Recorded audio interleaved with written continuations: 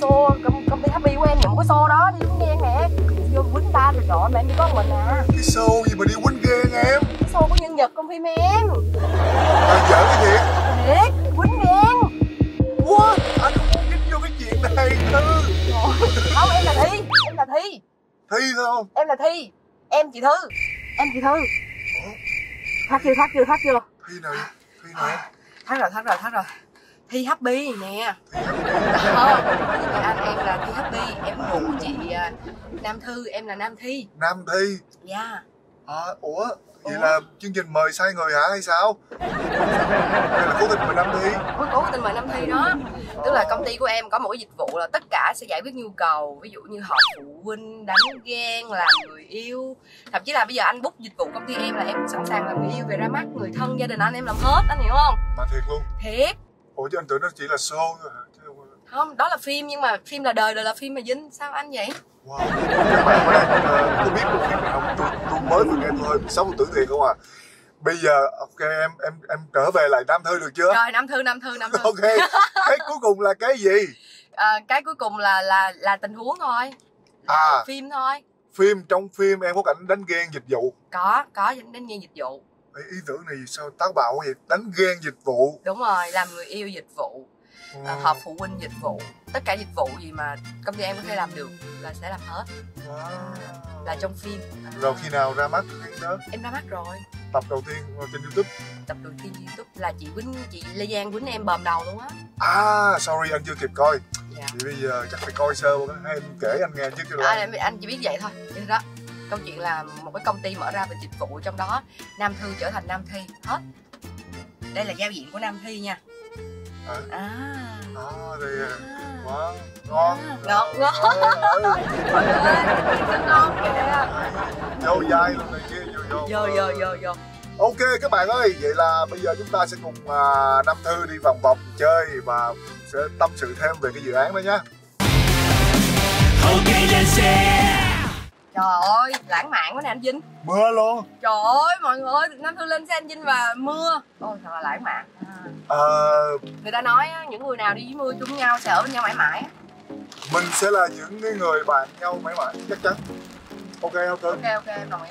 Mọi người ơi, mọi người phải ờ, xem số này nha. Có rất nhiều bí mật được bật mí trong số này. Ok. Và rất cái nhiều bí mật này khi mà nói ra bản thân anh chưa thấy cũng sẽ hờ really? Yeah, bởi vì em cũng đã từng nghe cái câu chuyện em. Hờ Đây, ok. Bây giờ em sẽ nói trước ha. Ok let's go. Ok, tức là ờ, cách đây khoảng 1-2 năm gì đó à, khi em làm có em làm họp báo phim của em Ừ. ra mắt thì các bạn phóng viên cũng vào phỏng vấn em.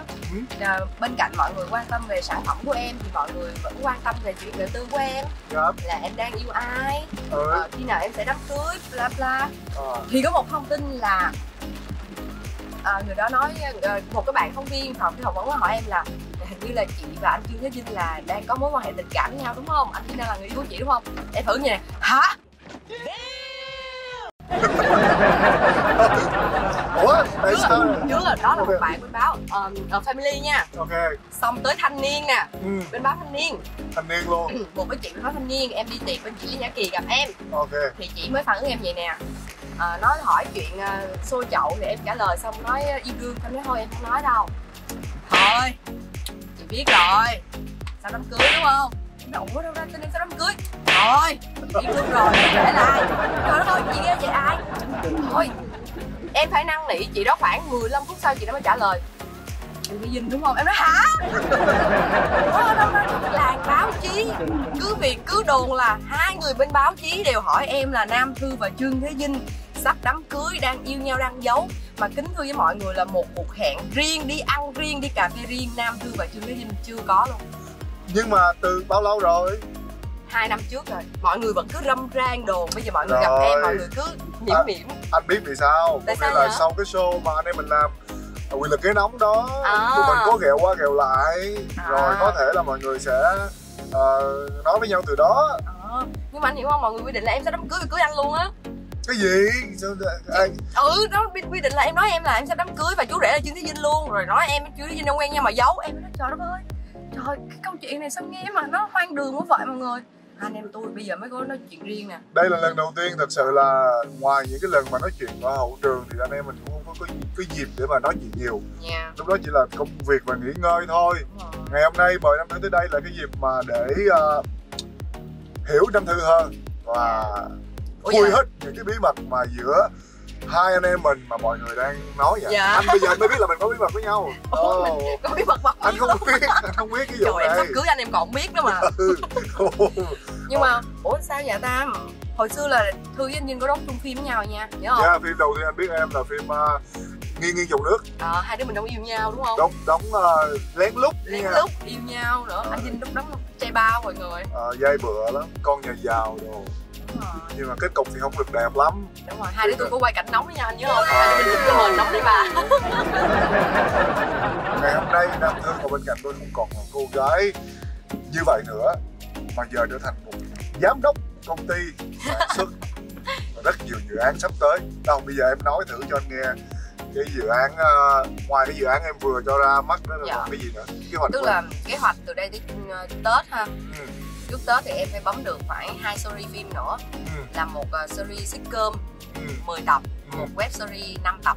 Ừ, um, thực sự là tại sao em lại chuyển hướng là sitcom ừ. uh, sitcom thì cái quy mô nó quay nó nhỏ hơn web series nhiều. Đúng. Ờ, tại vì thứ nhất là tình hình như thế này mình sitcom là nó an toàn nhất. Đúng rồi. Ờ, và thứ hai nữa là ví dụ cái series đó mình có thể đi dài được.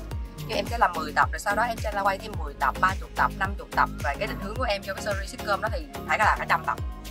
Khoan có một câu hỏi là anh biết là à, em nào ra số tiền lớn để em đầu tư cho một cái series dài mà anh nghe anh cũng thèm thuồng ừ nói cho chia sẻ anh biết với sao Ờ. cái cách em em vận hành sao có thể nói sơ sơ được không sơ thôi không cần phải bí quyết gì đâu thì móc tiền túi ra làm là được rồi mọi người. Ờ, thực sự là tất nhiên là những sản phẩm trước của em á 70 phần trăm bỏ tiền túi nhưng mà Ừ. sau những cái sản phẩm mà được mọi người biết tới thì các nhãn hàng cũng hết sức là happy khi họ in vào ừ. làm sponsor nhưng mà thì ờ, họ cũng tài trợ một phần là thôi. Ừ. nhưng mà sau dịch thì ờ, anh biết rồi. Ừ. tất cả các mạnh thường quân các nhà tài trợ đều đều yếu dần và Đúng, đúng, họ đúng. cũng trả lời thẳng thắn là thực sự bây giờ sau dịch thì tổn thất rất nặng nề. Họ phải cần thời gian phục hồi. Thì cũng có những đơn vị cho em và lúc nào cũng thế. Nam thư cũng phải bỏ ít nhất là 50 phần trăm cho một dự án.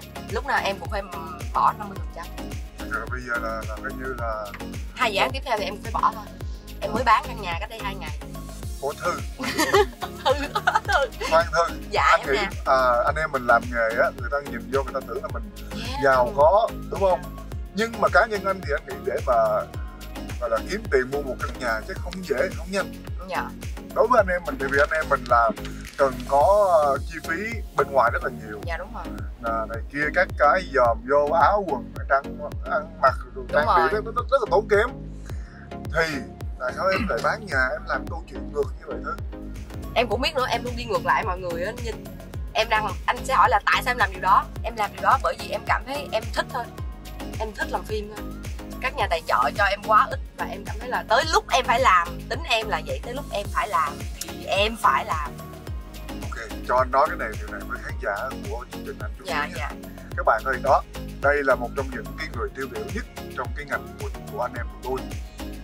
Có khi á dòm vô thì tưởng là thế này thế kia lắm quảng cáo này kia các bạn nhiều khi các bạn xem các bạn bị phiền nhưng mà Yeah. chính họ mới là những cái người là tiếp thêm cái nhiên liệu cho anh em tụi tôi làm và nếu như mà các bạn đang xem chương trình này á yêu mến chương trình cũng như yêu mến thư á, thì hãy uh, giúp tặng thư một share. Nha để cho cái uh, tiếp thêm sức mạnh đó. Gọi là sao ta? Để cho những người họ họ họ, họ nhiệt huyết như vậy họ tiếp tục tiếp tục tiếp tục. Chứ uh, không là nếu mà cứ ai cũng không dám làm thì chắc sẽ chẳng, chẳng có gì để coi dạ dạ đúng rồi. Okay, let's share. Okay, let's share. Trong đây là cái số câu hỏi. Ôi, và anh không biết trong đây có cái gì luôn. Rồi. Anh xin uh, cam kết là như vậy. Rồi. À, nói làm sao nhỉ? Đây là cái cái trò mà chắc em biết dạ nếu mà em trả lời không được thì em phải chấp nhận thử thách của anh. Thử thách thì nằm trong hộp này. Em cũng sẽ tự bóc luôn nhé ok. Vậy là lên xe anh chiến đấu lại người nhưng đi lái thôi. À, không, không, mời làm ức đúng. Rồi. Mời là tương tác tay chân anh Vinh lái. Anh lái thôi. Chứ giờ anh làm nữa là phải nguy hiểm đúng an toàn. Giờ em bóc ha rồi đây cho anh trước nha ok. Câu hỏi thứ nhất bạn sẽ làm gì nếu đứng trước một người đàn ông có bờ mông? Em cười. Trời ơi bạn sẽ làm gì nếu đứng trước một người đàn ông có mờ mông mà bạn mong ước? Đứng trước hả? Đứng trước mà có một bờ mông mong ước. Tự nhiên nói cái em ngứa cái tay ghê á. thư là thư dỗ cho liền các mọi người wow. Ờ mà đứng trước một đàn ông bờ mông thì dỗ như mông. Ủa rồi sau đó? say sorry. Ủa bạn chưa quen biết gì cũng chơi vỗ mông ta vậy? À vậy hả? Ừ. Thôi vậy thì em em xin. Xin xin Xin. vỗ mông nè xin xin. Người người lạ thì xin người quen như anh Vinh thì võ thôi. Võ đi thôi. Ai làm gì Tôi mới đạt cái độ mong ước của Thư Cho nên là bạn chưa bị dỗ. Ừ không sao ok. Rồi tiếp thôi. Rồi câu thứ hai. đơn giản.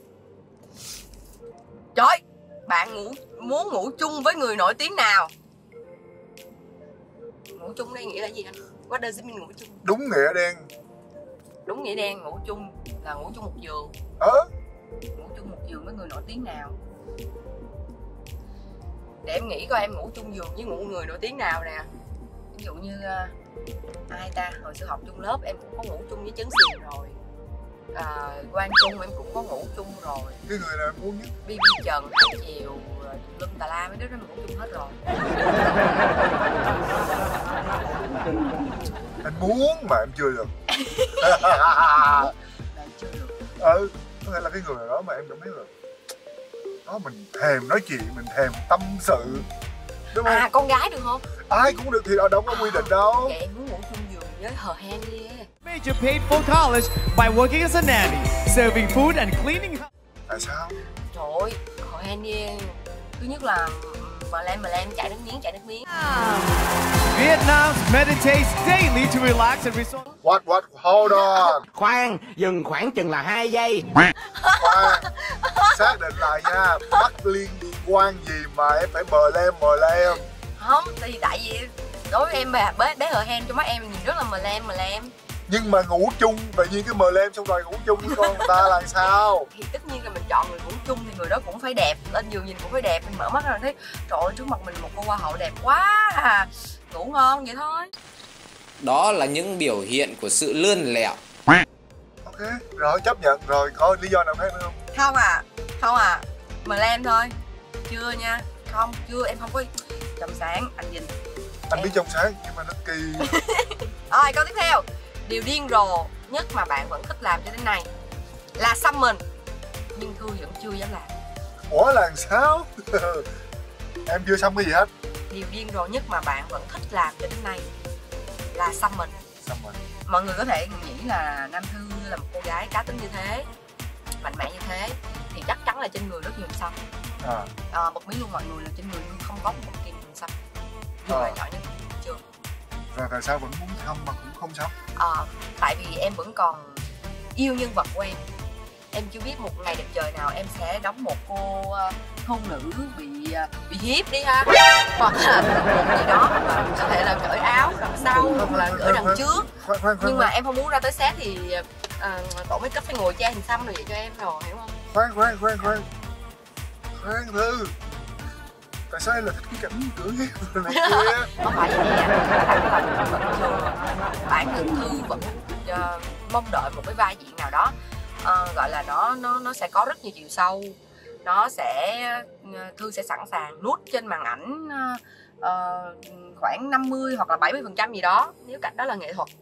Và ví dụ như nếu mà em đóng một cô gái quê đi mà ví dụ như em phải nút lưng đi hở lưng đi hoặc hở lường hoặc hở gì đó đi nhưng mà trên người em có hình xăm mà anh biết rồi bây giờ cái máy Ari mà nó đẩy vô một cái là thấy hết tức là Thôi. em vẫn yêu nghề đó anh hiểu đó là cái cái cái cái Cái mindset em nghề nghiệp của mình. yeah, yeah. ok bây giờ thì à, sao nhỉ anh nghĩ là phải up cái cái cái cái, cái, cái thử thách lên chút cho nó cho nam thư được hiện rõ hơn còn Ok. nam thư Okay, say. ok à, bây giờ à, anh đọc nha. Cái này thì là luật chơi nó như vậy cũng là những câu hỏi thôi. Thường là những câu hỏi liệt kê. Yep. và em có 5 giây. Yep. easy thôi ha. Easy, easy. rồi. Đầu tiên. Kể ba cái tên mà bạn đã cạch mặt. Năm bốn ba hai một. Em không Ờ, thì em nói đại tên ai đó Chưa biết đâu À vậy hả? À ok rồi. không, Lại. không, không lại được em nói là mèo. đúng rồi chứ còn gì nữa Để em làm cho. nhưng mà anh lúc đó anh suy luận là, mèo là khả như em Trời ơi. tí là giang em Chết em luôn á. chết luôn á. Ok. Thử thách. ok Nhét đầy kẹo dẻo vào miệng và hát một bài. Kẹo đó. What? Ơi, sao anh Vinh như siêu thị vậy hả? Anh Vinh được không vậy anh Vinh? trời ơi đây Nhét đầy kẹo. Ờ. wow Giờ hả hả? chưa đâu chưa đầy nha còn nhét được nha không cần nhai nuốt chỉ cần nhét thôi ok let's go à, Đây là một bài hát không buồn. không buồn không buồn Đây là một bài hát hay. hát đây Đây là một bài hát không tồi. không tồi không tồi ghê quá từ. có cái gì nhã không Không, em nhai em nuốt luôn cho. really Ừ. em không sợ ốm má sao quanh không sợ mập hả Ừ. ok cho anh cái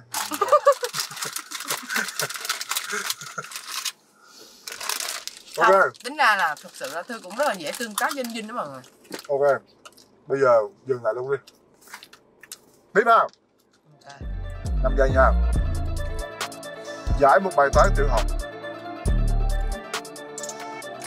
10 mũ 4 nhân 3 cộng 12 bằng. Không, 10 mũ 4 nhân 3 cộng sai Chứ sao mà đúng được. Không ở đây thì có nghĩa là không biết đó. không ở đây của em là không biết anh Vinh. ok ok Chứ không phải là bằng không đâu. rồi anh, Anh biết mình. không? không không nghĩ kịp Đứng trước quán cà phê đeo tai phone hát theo bài trong tay phone trời ơi, nãy mới nói luôn á đó cầu Thiệt. được ước thấy luôn cầu được ước thấy luôn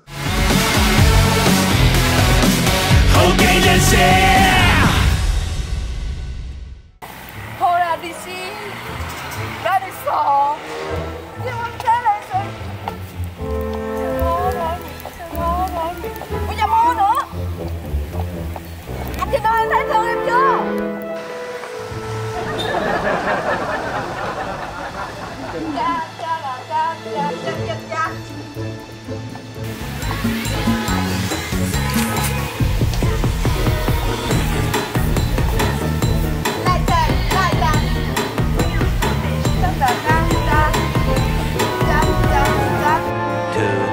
2,000 years later. Yes! Dương Thế Vinh! Chơi biển! Dương Thế Vinh ơi! Giờ anh đang ở đâu? Trời ơi, mọi người giờ hai đứa tụi giống như là Ngưu Lan chức nữ chưa? Ngưu Lan ngồi dưới xe á, còn chức nữ đứng trên này.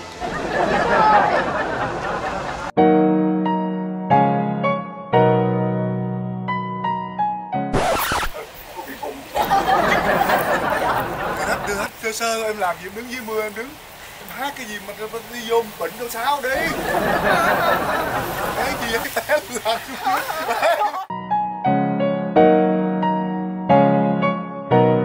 Té thì đó em? Nó xa lắm, nó trơn nữa. Hết trơn á thôi đi xuống đi xuống xe. Ghê quá. Hai đứa tụi lãng mạn không? Lãng mạn quá chừng. lãng mạn quá chừng đi cẩn thận nha em Ơ, ok. Ba cách để thu hút người yêu cùng giới. Năm Ờ, bốn ba hai, sexy, gợi cảm, đá một. treo. người yêu cùng giới.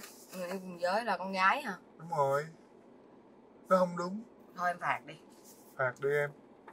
Ví dụ như em ga lăng chẳng hạn. Ờ nhẹ Tặng nhàng đúng quan tâm À. thì là còn chấp nhận được vì em là phụ nữ.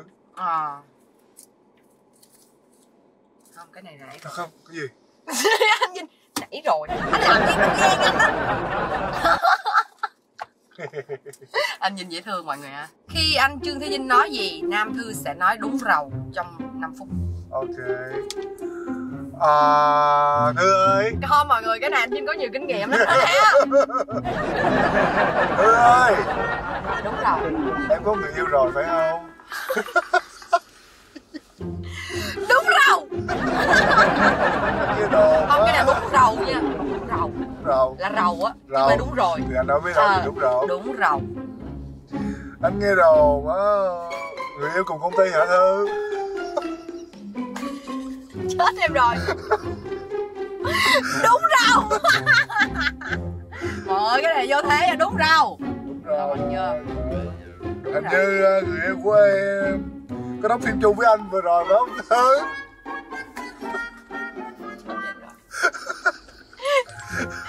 Trời ơi mọi người sợ xét đánh của anh Vinh Em sợ xét đánh em quá.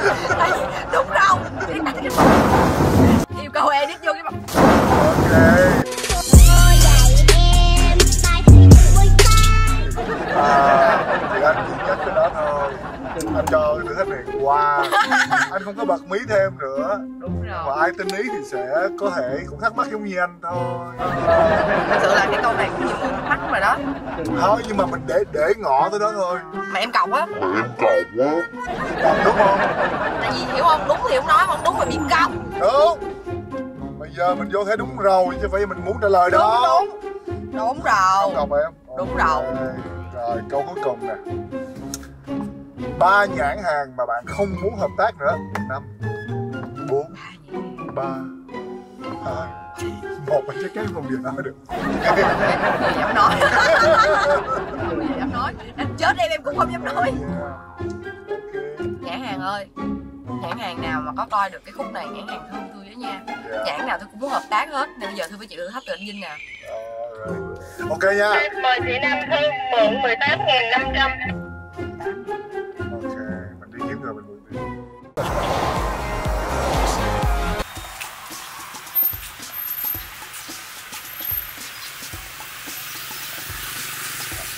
Hello mọi người. Xin chào mọi người.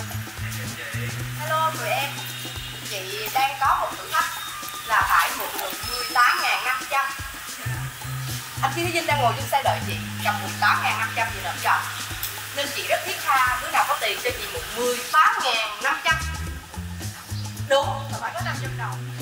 Ừ.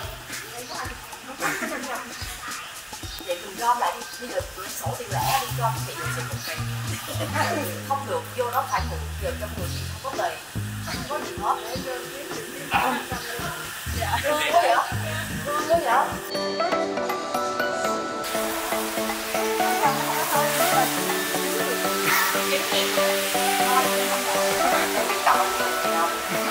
là không được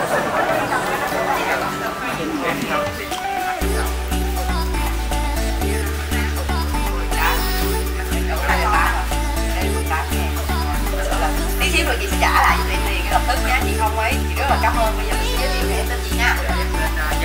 Dạ. An em tên thi thi mọi người đến từ đâu ta? Ồ quý chị em cảm ơn. Ờ rất là cảm ơn ba mẹ. Để cho chị ok lên xe. Nha muốn về đón xem nha. Rất là cảm ơn. Tụi em để cho chị mượn 18 ngàn. Giờ chị đi kiếm 500 rồi cho chụp hình tiếp đi Rồi cho mượn cái chương trình nó bắt quay mà nó 500 đồng 500 đồng. Thôi chú con ngàn cũng không được 500 trời ơi thiệt mọi người ơi vô tới giờ tôi thấy mặt cái không đi mất luôn đúng rồi lên mắt luôn mà sao không có được 500 thôi. Thấy không? Không được rồi chị mượn 18 ngàn rồi giờ chỉ 500 xíu nữa chị quay lại chị trả 500 này đi theo tôi ông kinh thấy ông vinh phải thấy. Anh nhìn đi có mượn được 18 ngàn 500 đồng nè. Vừa lòng anh chưa? Yeah. vừa lòng anh chưa? Anh có biết đi rất là nhiều nơi không? Anh biết là các bé đó khi vào siêu thị mua cho em không? Được 500 đồng. Anh chưa lòng anh chưa? Chưa lòng Tuyệt vời Chỉ có thể là Nam Thư thôi. Chỉ có Nam Thư mới làm được tất cả những cái thử thách của chương trình. Ok lên xe Rồi, như vậy thì là cái hành trình của ngày hôm nay của anh em mình Đến đây là cũng là hết rồi đó. Anh Vinh là một người anh ở trong nghề mà tôi cảm thấy là dễ chịu năng lượng ấm áp ga lăng lịch sự. Ờ, nhưng mà Nhưng sao? nhưng mà tham gia ờ, quyền lực ghế nóng với anh Vinh rồi thì tức là lúc đó mình có thể đọc được sâu anh Vinh hơn nữa. Tức là mỗi cái quan điểm mà ví dụ như anh Vinh trình bày về quan điểm thì khi mình nhìn một vấn đề mình biết rồi. Nên thực sự cô nào mà anh Vinh không thương thì thôi nha. Anh Vinh mà thương là dạng như là sống chết đó. Nha. Đi anh con người anh sống cái gì cũng vậy. Việc gì anh cũng hết mình chứ không riêng gì tình yêu không đâu. Rồi và rất là cảm ơn anh Vinh hôm nay đã mời em tới đây. Hai anh em đã có những phút giây thật là thoải mái. Nam Thư nhẹ đô quá à. Quá nhẹ đô. Nha Nhẹ đô hơn anh anh nghĩ Thật sự là những thử thách này là Mấy người khác là người ta cũng chết lên chết xuống rồi. Người ta cũng ngại ngùng đủ thứ kiểu rồi. Ờ. mà sao sao em sao á thư em em giờ làm? ví dụ mà anh nói em mà giờ mặc váy mà em leo cái cây này thì em vẫn có thể xoay sở được. Anh nghĩ không có khó với Ờ. em luôn. Anh nghĩ không có gì. Chắc phải kêu em ra đẩy xe chạy hay gì cũng được nha em đi bộ đội 7 ngày rồi em cũng trâu bò sức lực lắm nha. Thôi các bạn à có nghĩa là bây giờ vậy nam thư đã quá rõ ràng trong lòng các bạn rồi. Nam thư Yeah. là ai? Ngày hôm nay chỉ khẳng định thêm nam thư là như vậy thôi. Dạ. tập ngày hôm nay anh em chúng tôi có được nhiều cái à, cái câu chuyện cá nhân hơn chia sẻ với nhau. Để chi? Để là mình biết được là à, cái giai đoạn vừa rồi thư đã làm được gì mình đã làm được gì rồi sắp tới kế hoạch là như thế nào. Rồi trong tương lai hy vọng là sẽ có nhiều dự án mà anh em có thể ngồi với nhau. Dạ. ví dụ như uh, web drama gì đó này kia cái cái anh cũng rất là sẵn sàng. Nếu như mà ok em có một dự án là muốn hợp tác anh, anh Yeah. welcome. Dạ. Yeah. thì uh, share với nhau điều đó. Thì các bạn nếu như các bạn là những người fan của chương trình cũng như là fan của Nam Thư thì uh, hãy giúp cho chương trình và Thư share cái này ra Dạ. và nếu như fan của Nam Thư là đầu tiên đến đây để xem cái chương trình OK lên xe của Vinh á thì hãy giúp bấm subscribe và bật chuông lên để uh, uh, những cái tập khác những người bạn khác sẽ xuất hiện với chúng ta nhé Ok và bây giờ thì xin phép được uh, xin chào và được hẹn các bạn một ngày khác cùng với Ok lên xe.